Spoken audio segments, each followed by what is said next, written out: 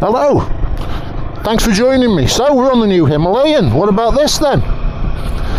Um, I've just come from Potteries Motorcycles, who've been uh, very good. They've, they've, allowed me to ride it. I've told them what I'm doing, and uh, they said, "Yeah, that's absolutely fine. Just bring it back in one piece." Really friendly people. So if you're interested in an Enfield or the Kawasaki and KTM main dealers as well, and they do other stuff as well, um, feel free go go and have a word with them. You could do a lot worse. They're absolutely they're a good bunch of lads, and uh, they certainly looked after me when I bought my Classic. So happy with that. Now as a previous owner of the old Himalayan, I was interested to see how this goes because this is Royal Enfield's first water cooled engine. And when we have a walk around in a bit, you can clearly see the sort of lineage already from the old Royal Enfield Himalayan it looks similar but it looks updated less angular. I like the look of it. Looks really good. This particular colour is in the black and I believe it's the top spec one. Um, we'll get into the specs and have a walk around in a little bit but this is the top spec one and very nice it is too the first thing I should mention really is the, is the seating position. It's obviously sit up and beg. Very, very comfortable. Nice comfy seat. It's uh, quite a firm seat. It's not that, that soft and squishy, but it is... Um, you can see that it will stay comfy for a long time. You know the squishy seats get uncomfortable very quickly. Well, I can't see that happening to this but only time will tell. Now, I do know that Royal Enfield have been developing this for quite a while, and it is a really important model to them because they sell them by the bucket load in the home market. Um, if any of you have seen the the recent Freddie Dobbs videos when he was in Goa, he goes to the Royal Enfield Cafe in Goa, and um, very important bike to Royal Enfield. This and I know they've, they've put a lot of time and effort into developing it as a true dual purpose a dual purpose bike that you can use on anywhere on proper roads. You could go across a riverbed on it. They were doing that in the launch video. It'll it'll take you literally anywhere. It really is a true adventure bike. And it probably hits the hits the sweet spot of being only I think it's 452 cc so that's smashing.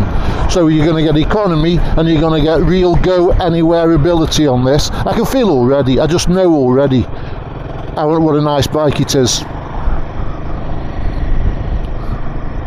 So we're sitting here. I can see perfectly out the mirrors. There's no shakes although I am going uh, reasonably steady. Nice big wide handlebars and the switch gear is lovely absolutely fine. It doesn't have adjustable levers from what I can see.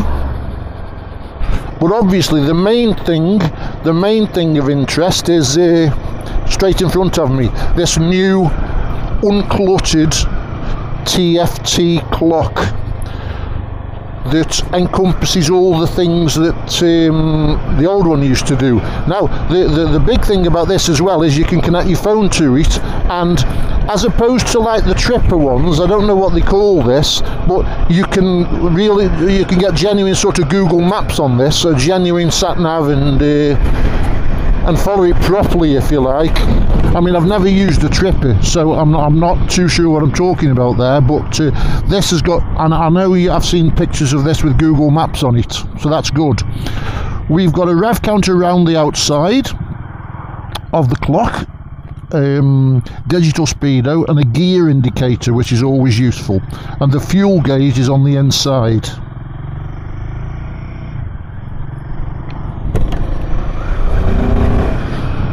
yeah you can feel the you can feel the urge in this. It's 40 brake horsepower and nearly 40 foot-pounds of torque.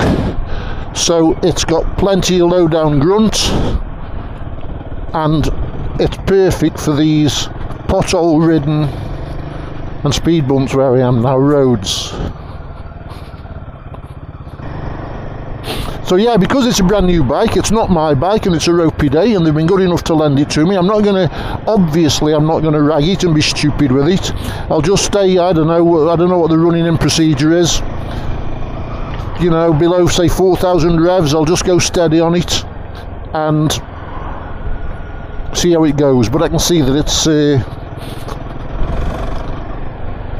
it's got more urge than my classic, but then it will have, won't it? It's got 40 brake horsepower, not uh, 20. It's got double, so if it didn't go better than my classic, I think we'd all be a bit disappointed, wouldn't we? Now, the current, the outgoing model, is still available here in the UK, and because this is coming in, I believe there's some pretty heavy discounts being offered. So I'm pretty sure you can buy a new one, a new Enfield Himalayan, the air-cooled version, the outgoing model, for sort of less than £4,000, which is an absolute bargain for that bike. As I said, I had one of them and I was really pleased with it. Again, go anywhere, true adventure bike. This one comes in at between 5,750 and about 6 oh I'm trying to remember desperately uh, 6364 something like that. That sort of uh, that sort of money would get you on the new one. So it's it's it's quite a price increase but it appears to me straight away it's uh, quite a bike increase as well. You know you're getting more for your money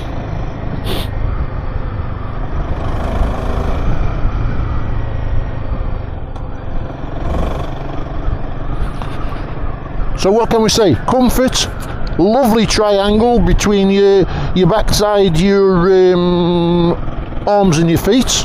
Nice triangle, really comfy. Sit up in bed. Nice wide handlebars, great vision.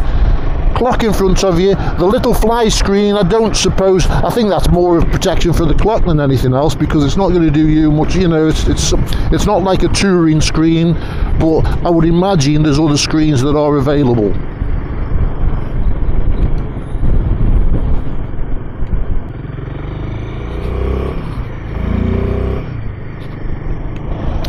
Okay, what we have got. So, we've got a bit more power than the outgoing one. Well, twice as much power almost as the outgoing one. Lovely seating position, water cooled. Um, TFT clock. Mirrors are wonderful, nice wide bars. This has got the gold wheels. It's the top. Um, it's the top model. I, I think Chris, the salesman, told me that this was Hanle Black or something like that. And um, I believe you can get a tubeless version of this vehicle as well. You can get a tubeless version of the bike if that was uh, of interest to you.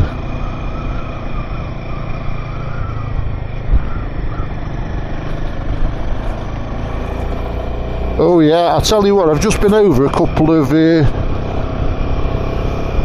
horrible potholes and it just soaked them up in fact, it just soaked them up completely. The suspension travel's great.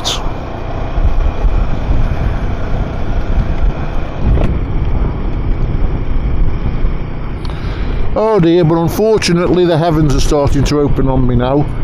So, uh, bit disappointing.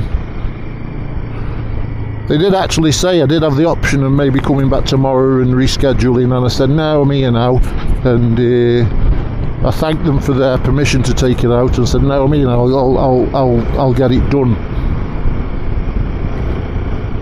But yeah, this is so easy to ride. You know, that's the. I mean, most bikes are nowadays, aren't they? Most bikes are easy to ride and this is no exception. It's it, you know this would be. I don't know if um, I'm not quite. You know, I perhaps I should know, but I'm not really sure the licensing laws in the UK nowadays how it relates to A1 and A2 and full Cat A and all this sort of stuff. But I would imagine this would be a great bike for a learner or a step up as a first bike. Absolutely super.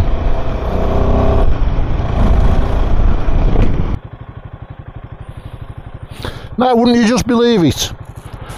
I, uh, the heavens have opened. I wish I could say this bike was good enough to keep you dry, but it doesn't fall in. It's not that good.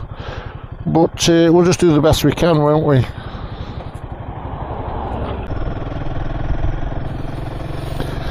Now, as far as competitors for this, as I mentioned, I have had a previous, I have had the air-cooled Himalayan.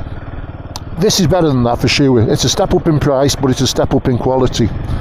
Um, I've also had a few GS310s over the years, and I like them because they had a little bit more power than the old Himalayan. But this this addresses that issue uh, with interest, to be honest with you. So so the GS310 would, for me, would probably be out of the equation now. I'd have one of these, and I think this is cheaper than a GS310 as well, and you still get your three-year warranty and all that sort of good stuff. So uh, what other things are, uh, you know uh, are competing with this? Well, there's the KTM. Is it like a KTM 390 or something like that? And there's uh, Kawasaki Versys maybe. Um, yeah, Kawasaki, that's getting a bit long in the tooth now. You know, this is a this is a although nice bike, but getting on a bit. This is a brand new model, isn't it? So uh, I think again, I'd probably go for this but first impressions are very favourable. Yeah, I like it. There's not much wrong with this. If you're in the market for a, for a, around this CC 400cc adventure bike, I think this is the one to go for personally. Having owned, um, man, I've only owned GSs. I've, I've, owned a little BMW version of this, which was a nice little bike, but uh, I'd sooner have this. I'm sure I'd sooner have this. Now it's been upgraded.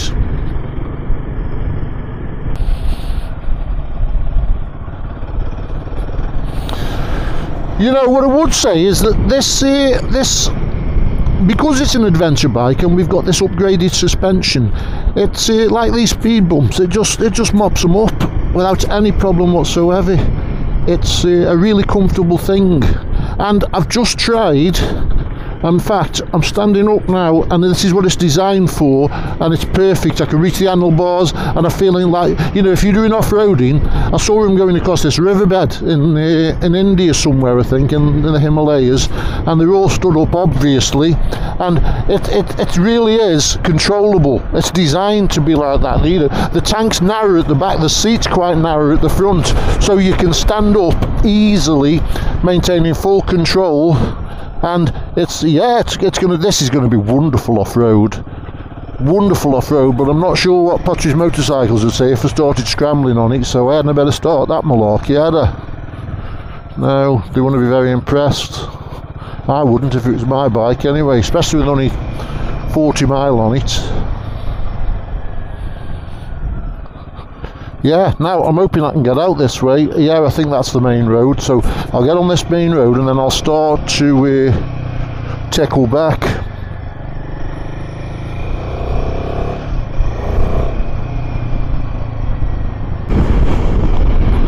Yeah a wonderful upgrade on the old bike. More money than the old bike but yeah they've upped the game here. There's absolutely no shadow of doubt about that. It looks better it uh, yeah everything that the old one did this will do with a little bit of interest.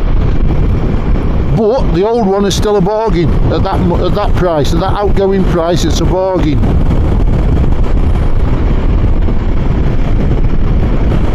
Wow the wind's blowing. It's blowing a right hoolie now we've just had a bit of hail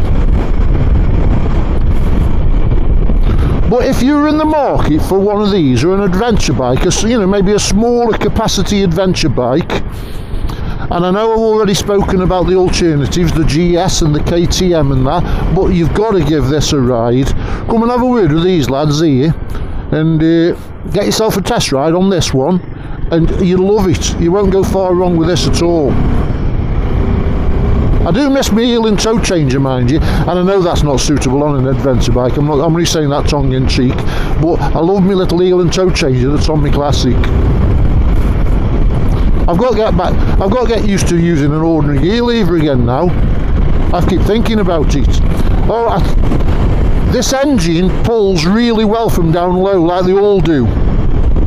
Um, I'm not sure about the bore and the stroke, these, you know, but yeah, it pulls really nicely from from way down low. And I do like the gold wheels as well, but we'll have a walk around it when we get back to the dealership.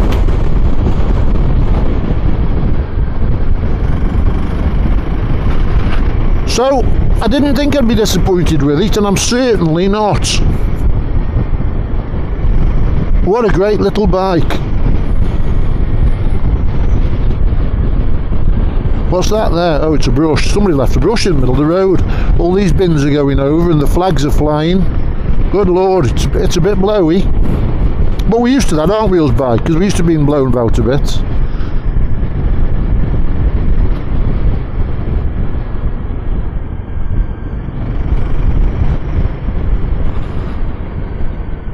The army camera's probably not picking that up, but uh, City of Stoke-on-Trent in front of me. Gets a bad press sometimes, you know, but you know, I think all big cities, there's areas. You you name me a big city where there isn't like a, you know, less desirable areas, and that's all they focus on when they come here. We're surrounded by beautiful scenery. The people are as friendly as anything. Anybody will talk to you, and you don't get that a lot of places. You know, you know, we actually talk to one another. Which is a bit of a rarity nowadays, isn't it? Everybody keeps themselves to themselves.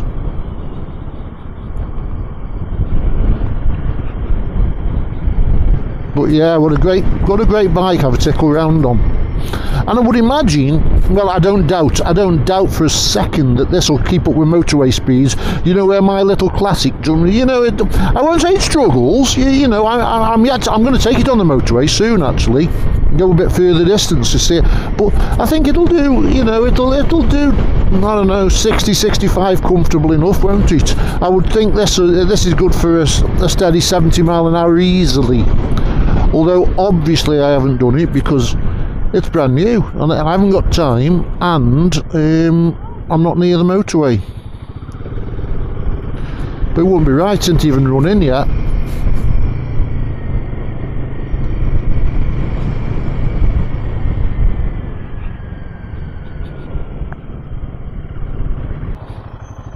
Right, what's not to like about this? Let's have a look. Well, look at that front screen. That's not going to keep anything off you, is it? It might. It's just a little pod for the clock, is. I think keep the keep the electrics in the clock from getting uh, getting soaked. I'm obviously they, they, they might be waterproof, aren't they? But I'm just trying to think what I don't like about it. The seat height spot on. I'm six foot tall. I'm flat footing it easy, both sides, because the um, the seat is sculptured in such a way which will allow you, which allows you to stand up as well, of course. But it's sculptured in such a way that you can get both feet firmly on the ground. And I'm just just a tad under six foot. I used to be six foot, but I think I'm shrinking as I'm getting older. Probably it's all this weight pulling me down, bank, isn't it? Hey up, stop there, missus. Thank you. Bins have gone over in the in the wind. Look, oh dear! It's a what a day! Have a test drive. Good lord!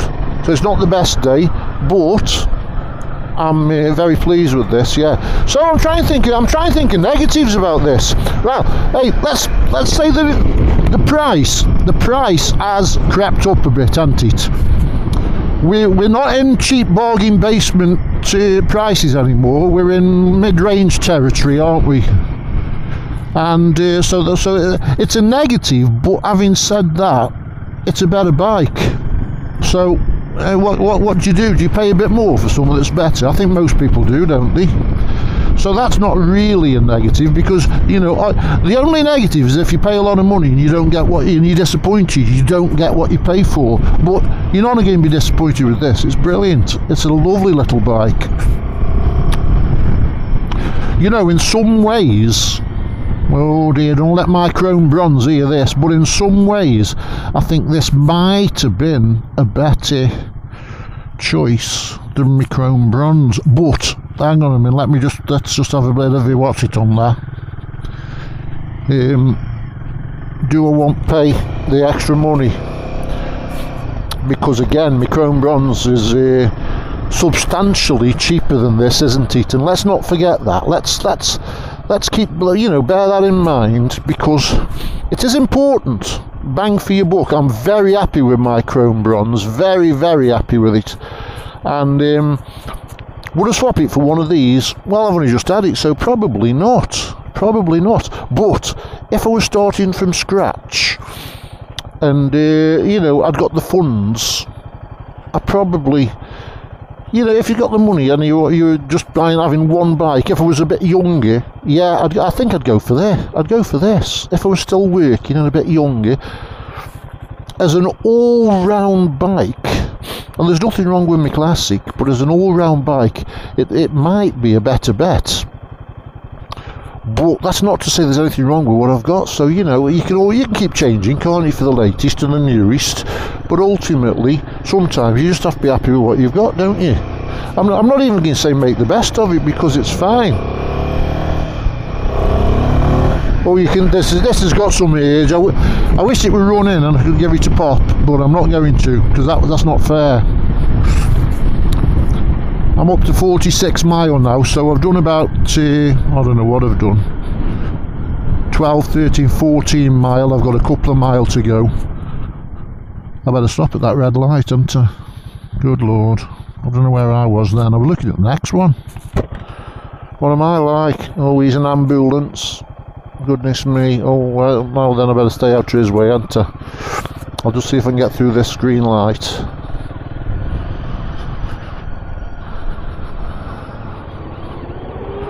Just go a bit steady, you know.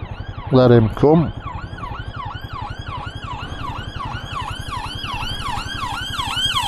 Let her come. She's picking her way through. I was going on my side here is then. I thought she might. It's such a horrible day today. We've had hail, we've had the winds shocking. I should have left it really till tomorrow, but still, there you go. I'm here now. So I'm going to get back to the dealership in a bit. Uh, I've just got to add my voice to the chorus of praise that this has received. It's smashing. It is smashing. I used to like my old BMW GS's. I say old, I had a brand new one last year. So it, it, was, it was the latest, and but this is better. This is a better bike. I mean, the looks of the thing it's it's perhaps not the best, the, not the most uh, aesthetically pleasing bike you've ever seen in your life, is it? But it's it's so it's it's it's so well built. It's so robust. It feels so solid. You know, it can take some uh, some braking. This is, and that's what it's built for. You know, you'd have a job break this thing. You could go anywhere on it. Did did BMW used to have an advert that said you can go to the, go to work all the ends of the earth, and that was something like a, I don't know, in, in the old days, or thousand or T or something. You can go to work all the end of the earth. I seem to remember the advert. Well, you could on there. I think I think I'll just as soon be on this as a big RT. Absolutely phenomenal little bike this is. Enfield, they've got it right again. What they can, they can do no wrong, can they? They can do no wrong. Wow, and it's very pleasing. Very with the with the British heritage, the the backstory, you know, and uh, it's ever so pleasing to see them doing so well and offering things that people want. So long may it continue. Right, I'm just going to get back to the dealership now and then we'll have a walk around it at the dealership and I'll show it you up close if I can.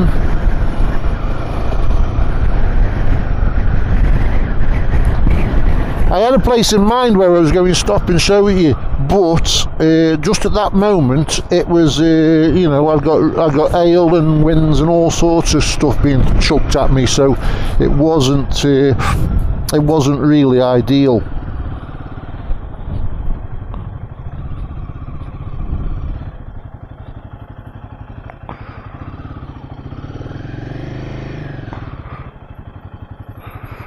Right, let's just have a quick look here.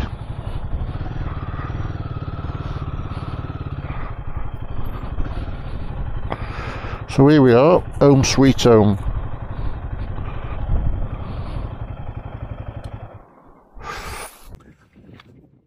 Okie dokie, so here we are, Royal Enfield Himalayan 450. Launch 2024. Pretty thing, isn't it? Comes in various colours. Dual purpose machine. steel frame, 452cc, water cooled, fuel injected engine.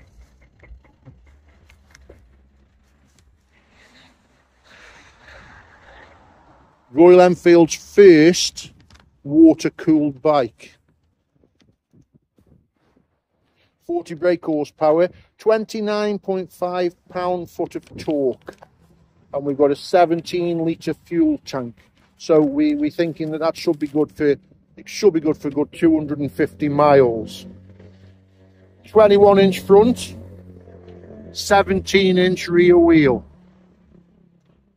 And on this top uh, spec one at least, we've got the um, we've got CEAT tyres and we've got the gold wheels. Nice little short stubby exhaust. Showa 43 mil upside down forks. And I think, but check on this, we've got a Showa adjustable rear suspension there. Adjust for preload. This really isn't a pretend adventure bike. This will take you anywhere you want to go. So that's lovely. Front's got a 320 millimeter two piston caliper disc. Baby Brembos. And the rear is a single piston caliper 270 mil disc. It's got improved ground clearance over the old one. Comes with a centre stand, isn't that great? How many bikes come with centre stand? And obviously a fully nice guard on the front with the beak. I think the beak started with the GS's. We've got LED lights. And indicators. And we've got this new clock.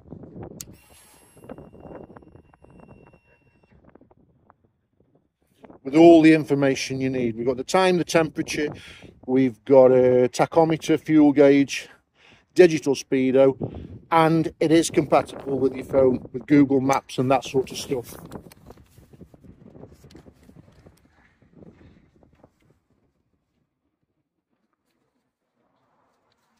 Okay, we've got switchable ABS for when you're off-roading. Now, I think it's switchable on the rear wheel, but don't quote me on this. I'm not really an expert in these things, but I saw somewhere when I was reading the specs before it came out that you you can adjust the um, the braking on the rear wheel for when you're off-roading. 196 kilos wet and it starts at 5750 up to about 6,300 pounds. Now the water cooling allows it to rev higher and improves, so it improves the power and torque through the rev range. And it's got a six speed, slick as you like gearbox. It's got two engine maps, Eco and Performance, which I imagine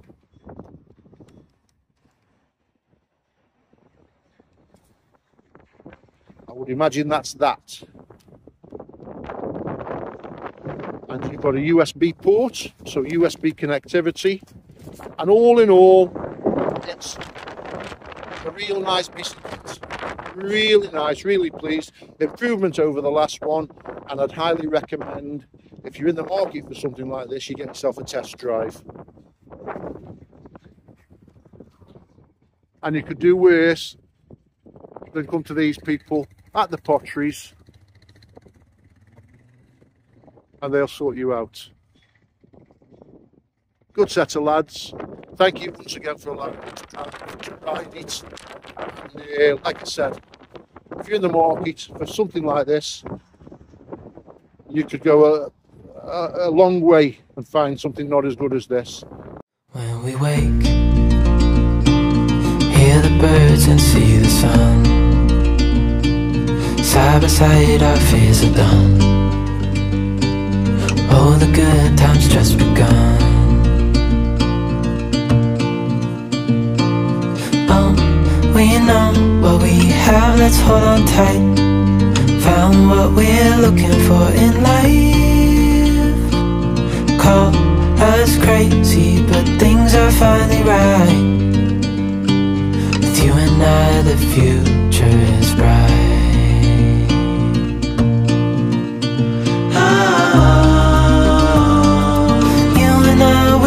We